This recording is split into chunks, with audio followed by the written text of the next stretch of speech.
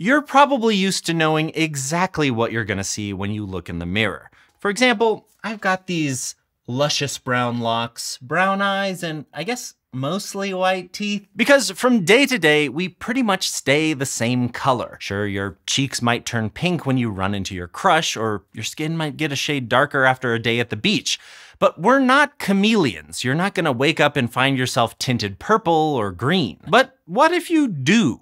Some people, or at least parts of people have been known to turn every color of the rainbow. And sometimes it's a sign that something's wrong, but other times it's just some harmless chemistry going on in your body. So we're gonna look at the ways your body could turn all of the colors of the rainbow and what it means if it does. The first one on our list is something you may have heard before, which is that eating too many beets can temporarily color your pee or poo bright red. It's called beeturia, and it happens when the red pigments that give beets their color move all the way through your digestive system without breaking down. That happens sometimes because our bodies aren't that good at absorbing them, so it's basically in one end and out the other. The good news is beeturia is completely harmless, although it can be pretty alarming if you're not expecting it because it looks a lot like blood. But if you're only seeing red after you've eaten some beets, chances are you're looking at beeturia. Oddly, this only affects about 1 in 10 people, and it seems to be more common in people whose bodies have trouble absorbing or breaking down their food, like people with low iron or low stomach acid. But the bottom line is there's no need to panic, and once you're done eating the beets, things should go back to normal in a couple days. But beets aren't the only food that can make parts of you change color. Now and then, the pigments in your food can even change change the color of your skin. So you might have heard that eating too many carrots can turn your skin orange. Now, it's pretty rare, but it is true.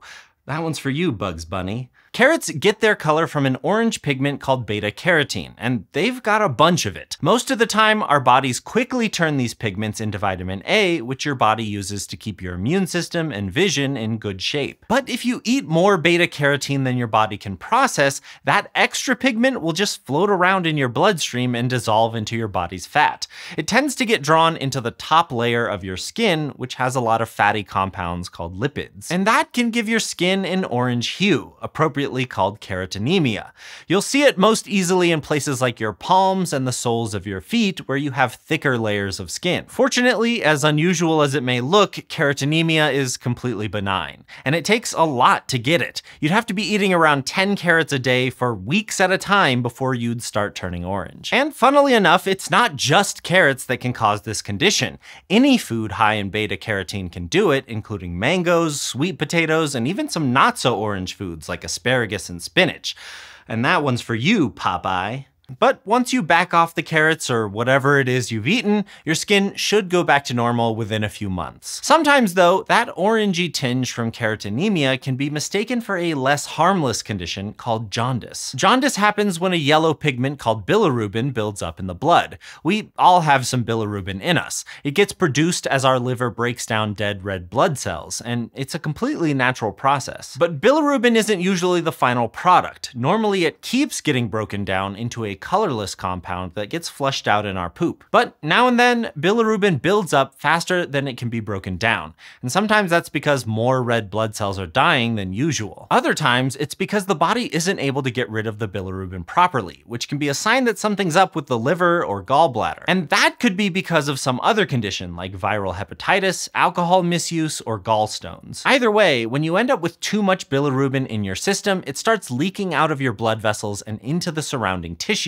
making your skin and eyes look yellow. It can look a little like carotenemia, except it doesn't just affect the skin. Jaundice will also make the whites of your eyes and the inside of your mouth look yellow, so that's one simple way to tell these conditions apart. And if it does seem like it could be jaundice, that's definitely something to see a doctor about.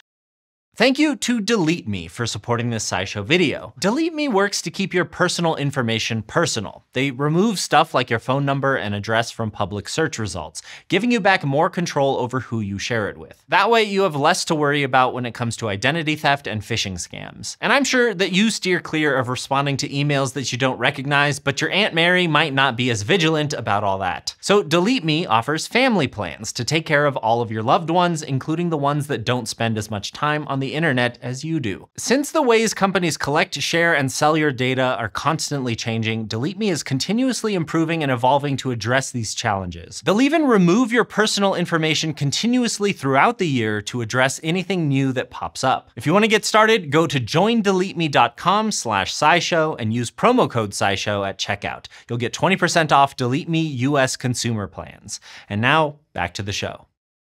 Now, sometimes what changes color isn't the skin itself, but rather what comes out of it. Chromhidrosis is a disorder that makes people sweat in different colors, like yellow, green, blue, or black. Sometimes people will get green chromhidrosis after they've ingested copper, which then dissolves into their sweat. Copper combined with air and water can turn into copper oxide, which has a green color like the Statue of Liberty. Other times, certain dyes in medications or food can cause it, but you'd have to be eating a lot of food dye in order to start sweating the rainbow. And other times the culprit is bilirubin again. If you have too much bilirubin in your bloodstream, you might end up sweating some of it out. And it turns out when yellow bilirubin is exposed to air, it can get oxidized and become the green pigment biliverdin. Just like with jaundice, high levels of biliverdin could be a sign that there's something up with your liver that you need to take care of. If you find and address the underlying issue, you'll get rid of chromhidrosis, which is probably pretty good since I hear it's not easy being green.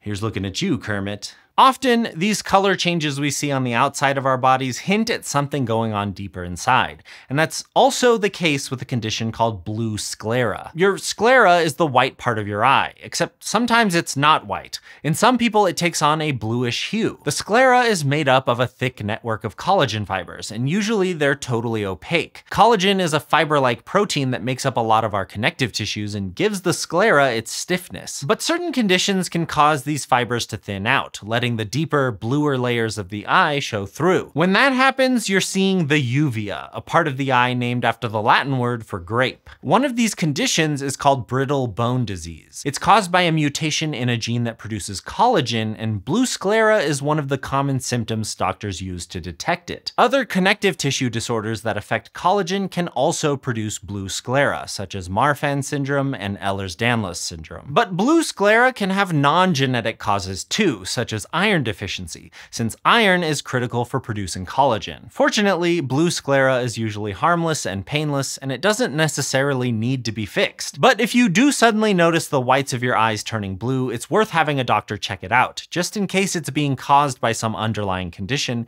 that needs to be treated. Eyes aren't the only thing that can turn blue though. Starting in the 19th century, a Kentucky family known as the Blue Fugates had a long line of descendants with blue skin. They all had a condition condition called methemoglobinemia, or MET-HB for short. People with MET-HB have high levels of a compound called methemoglobin. It's a form of hemoglobin, the protein in red blood cells that carry oxygen around the body, except that methemoglobin can't carry oxygen. So people with MET-HB have less oxygen in their blood overall, which makes their blood darker. Inside the body, that blood is a deep brown color. If you have dark skin, you might never know you have MET-HB without taking a genetic test. But in people with lighter skin, that darker blood makes the skin look blue. This condition is often caused by a mutation in a gene that's in charge of changing methemoglobin into regular hemoglobin. It's a recessive mutation, so people can carry one copy without developing MET-HB themselves. But in the case of the blue fugates, some children inherited the mutation from both parents and were born blue. This type of MET-HB HB often doesn't come with any other medical issues, and people who have it can live healthy lives. In fact, many of the Fugates lived well into their 80s and 90s. There is a more deadly version of inherited MET-HB that affects the whole body, not just the red blood cells, and people who have it usually die in infancy but not the blue fugates. In some other cases, people without the genetic mutation can acquire MET-HB after taking certain medications that react with blood to make methemoglobin, and this form of MET-HB can be extremely dangerous. But if there are no serious health issues and the only symptom is blue skin,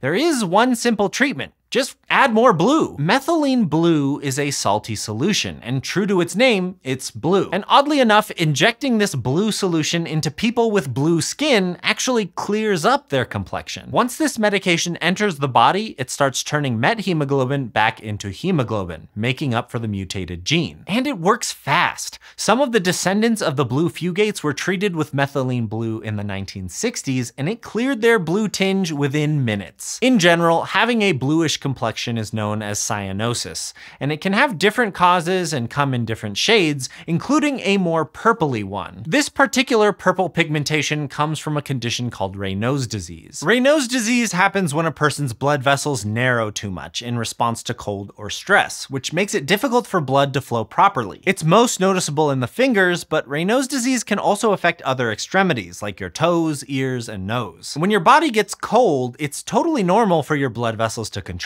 to reduce the amount of heat that gets lost through your skin. This reaction can also happen in response to stress, but in Raynaud's disease, the blood vessels narrow too quickly and for too long. If you have lighter skin, this lack of blood flow can make your fingertips turn white at first, and then purplish as the deoxygenated blood darkens under your skin. Finally, they might turn red as your blood vessels relax again and your circulation comes back. If you have a darker skin tone, Raynaud's disease may show up as more pale than purple. Raynaud's can feel a little uncomfortable. The lack of circulation can make your fingers and toes feel numb or cold.